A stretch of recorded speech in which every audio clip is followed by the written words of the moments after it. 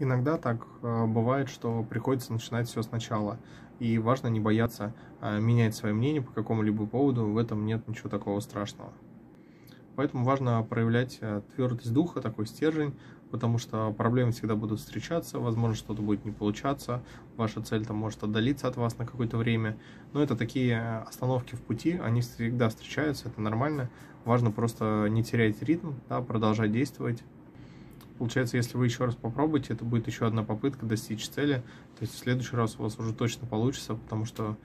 вы улучшите, дадите обратную связь, что было не так, и начнете действовать с новой силой, избегая предыдущих ошибок. Вообще важно уверенно двигаться, не зацикливаясь на каких-то ошибках и преградах, просто принять их как часть жизни, часть процесса, что это будет происходить, и тогда вы просто не будете на них обращать внимание, будете фокусироваться на цели, но это так просто небольшие кочки, помехи на пути к достижению вашей цели или результата.